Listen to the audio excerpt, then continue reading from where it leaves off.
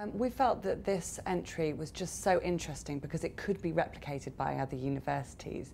The way that it worked with young people from nursery school to primary school to secondary school, work with the families, they're working with other employers, other businesses, and really targeting those areas around them that are the most socially deprived. So it's something that could be picked up by many, many universities and for us felt like a really innovative and exciting um, approach that we really, want, really wanted to recognise.